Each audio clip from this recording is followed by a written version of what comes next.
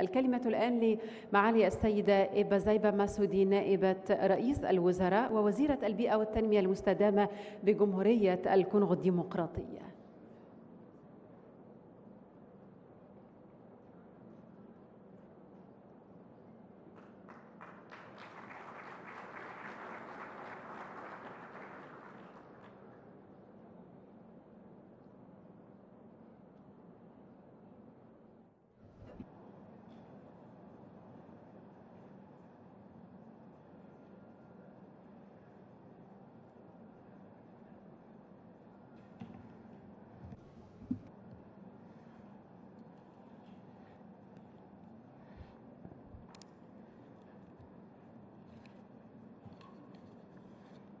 بسم الله الرحمن الرحيم بسم الله الرحمن الرحيم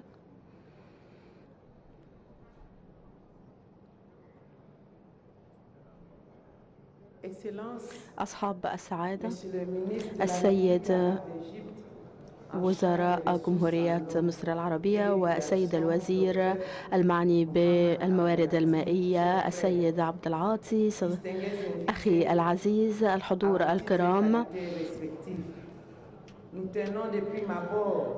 نود بادئ ذي بدء أن نعرب عن امتناننا الكبير للسيد عبد العاطي الذي أراد أن يجمعنا جميعا في هذه الأنشطة المعنية بالمياه والتي تهتم بمستقبل البشرية بشكل كامل نشكر أيضا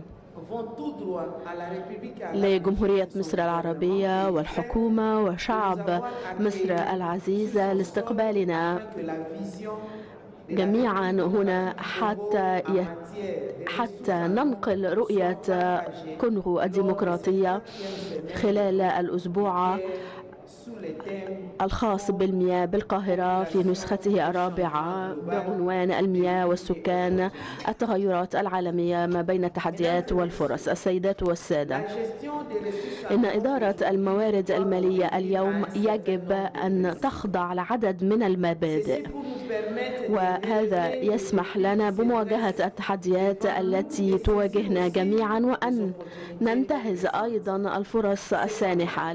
على الرغم من ذلك فإن المقاربة الأفضل هي الإدارة المتكاملة لموارد المياه وهو, وهو ما يعني أن كل الاستخدامات الخاصة بالمياه يجب أن تتم بشكل شامل وأن نتخذ القرارات الخاصة بتوزيع الأنصبة من خلال الاستخدام يجب أن تأخذ بعين الاعتبار كل طريقة استخدام على الآخرين وأن يتم كل ذلك في إطار مقاربة تشاركية. نحن نرتكز على أربع مبادئ تم تحديدها في المؤتمر العالمي الخاص بالمياه والموارد المائية في دبلن 20 12 كل هذه المبادئ تم تعزيزها في مؤتمر الأمم المتحدة حول البيئة والتنمية في ريو دي جانيرو عام 92 مياه الشرب هي مصدر محدود ولكنه ضروري لبقاء الحياة وللتنمية وللبيئة. فإن تنمية وتطوير وإدارة المياه يجب أن تقوم على مقاربة تشاركية تجمع بين المستخدمين والمخططين ومتخذي القرارات على كافة المستويات. فالمرأة تلعب دورا مركزيا في عملية التغذية وإدارة وحماية المياه. وفي النهاية فإن المياه له لها قيمة اقتصادية في كافة الاستخدامات ويجب أن نقر بأن المياه تمثل ملكية اقتصادية كبيرة وهذا يوصلنا إلى نتيجة هي أن المياه تساوي الحياة لا بد من إدارتها وحمايتها بشكل توافقي مع الأخذ بالاعتبار كل الاحتياجات.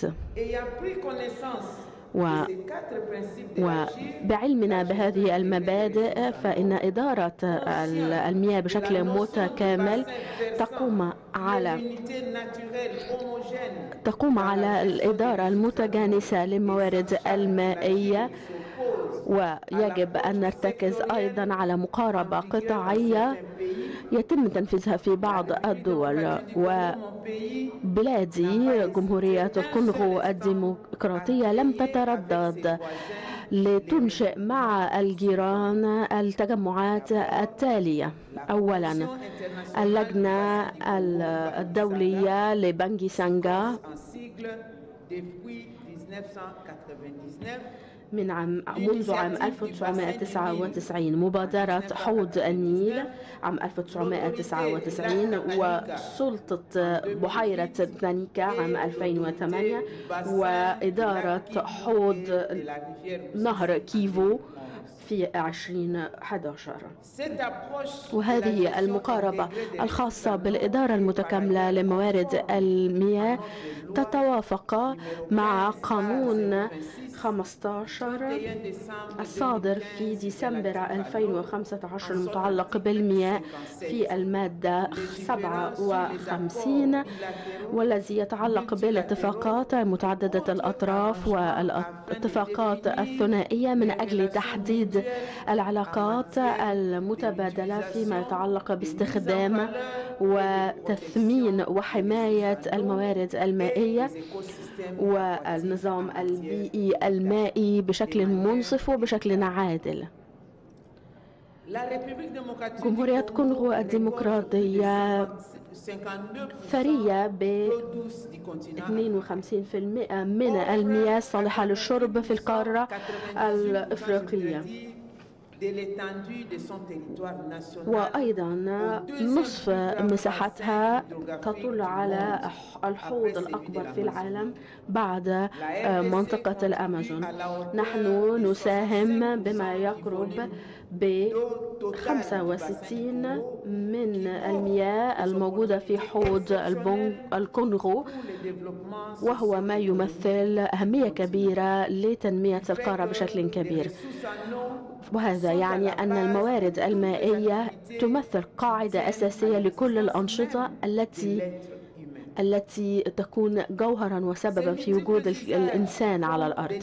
هذه الأنشطة تساعد في توليد الكهرباء والزراعة والري والزراعة والإمدادات الخاصة بمياه الشرب ومجال السياحة وحماية التنوع البيئي وأيضا الحد من الآثار المترتبة عن التغيرات المناخية. إن منطقة حوض الكونغو تغذي أيضا الغابات الموجودة في الكونغو الديمقراطية والتي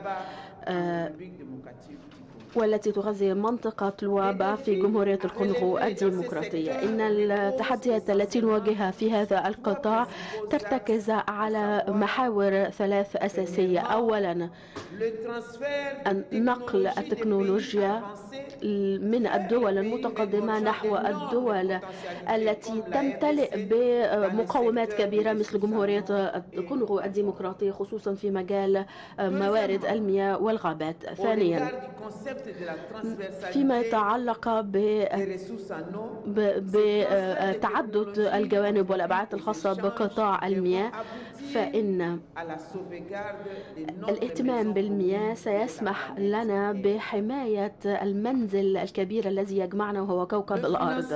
إن تمويل قطاع الموارد المائية مهم للغاية. نظام تمويل قطاع الموارد المائية يجب أن يعتمد على مقاربة جديدة. وأن ننظر إلى إمكانية تمويل أيضا الدول التي تكون حول أحواض المياه. وهذه التمويلات تسمح لنا بالحصول على نتائج مختلفة في قطاعات أخرى مثل والصيد والسياحة والصناعة وغيرها من القطاعات وهو ما يسمح لنا أيضا بإدماج الأنهار الصغيرة والمناطق الرطبة في المتابعة النوعية والكمية لموارد المياه لأنها تساهم في زيادة حجم المياه الخاصة بالأحواض. اسمحوا لي أن أتحدث عن النزاعات المتعلقة بالمياه. جمهورية كونغو الديمقراطية على قناعة بأن المياه يجب أن يكون صق لتحقيق السلام وليس سببا لنشوب النزاعات بين شعوب العالم. فإن اختلال التوازن في توزيع مياه الشرب في العالم وأيضا الطبيعة الديمغرافية لبعض المناطق سيكون سببا رئيسيا في النزاعات الخاصة بالحصول على المياه. حوض الكونغو هو الخزان الرئيسي لمياه الشرب في القارة وهو أيضا أقل أقل الأحواض التي تحظى أو أقل الخزانات التي تحظى بالتمويل وأقل الخزانات التي تحظى باهتمام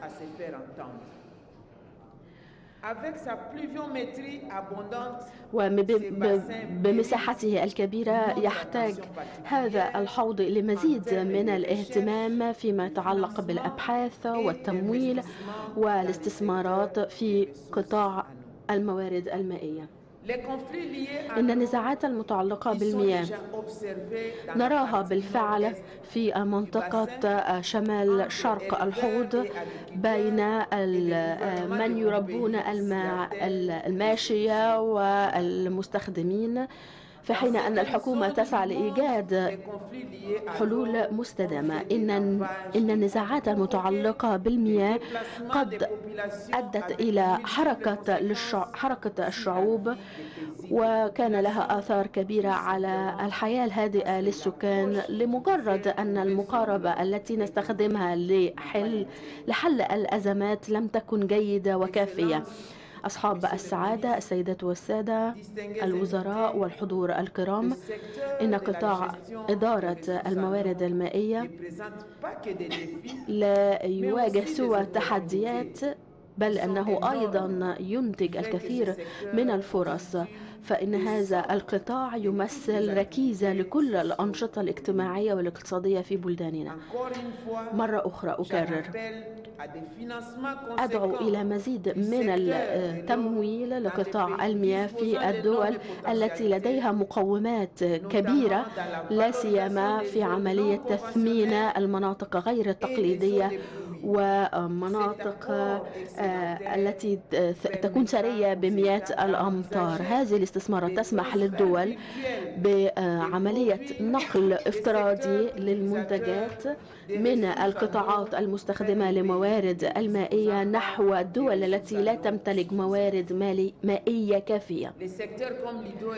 فإن قطاع المياه والكهرباء والصيد والصناعة وغيرها من القطاعات يمكن أن يمثل موضوعا للأبحاث بالنسبة للمتخصصين في قارتنا حتى نستطيع أن نقوم بعملية نقل افتراضي للمياه وهو ما له الكثير من الفوائد من أجل تنمية كل الدول وتحقيق الاستقرار في الدول والحد من النزاعات بين الشعوب الحد من هجرة الشعوب ونقل التكنولوجيا وفي النهاية يسمح لنا بتحقيق أهداف التنمية المستدامة بحلول 2030 وتحقيق أجندة 2063 لإفريقيا. أصحاب السعادة أصحاب الفخامة السفراء والوزراء السيدات والسادة الحضور الكرام.